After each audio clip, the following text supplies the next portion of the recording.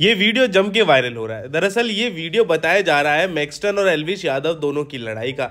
दरअसल आपको बता दें दोस्तों, बीती शाम ऐसा हुआ था कि मैक्सटन जो है, उनको गुड़गांव बुलाया गया था एलविश यादव द्वारा और कहा गया था कि आजा वन ऑन वन कर लेते हैं। लेकिन इसके बाद मैक्सटन ने एक वीडियो भी पोस्ट की और बताया भी कि उनके मुँह पे चोट भी आई हुई है और ये चोट भी उन्होंने दिखाई थी। इसके अलावा ऐसा लग रहा है कि एक किसी शॉप के अंदर मैक्सटन ऑलरेडी बैठे हुए थे और वहीं सामने से एलविश के साथ में बहुत सारे लौंडे लपाटे आते हैं और मैक्सटन को धुन जाते हैं। जी हाँ और यहाँ पर मैक्सटन जो है, हालाँकि काफ़ी कोशिश करते हैं अपने बीच बचाव की, लेकिन वो कुछ खास बीच बचाव कर नहीं पाते। उनके बाल पकड़ के उन्हें बुरी तरीके से रौनता हुआ आप देख सकते हैं इस वीडियो के अंदर।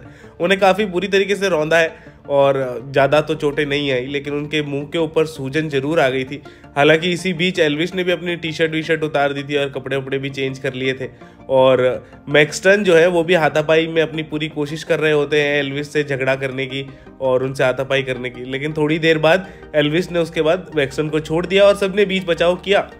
और फिर एलविश वहाँ से चलते बने।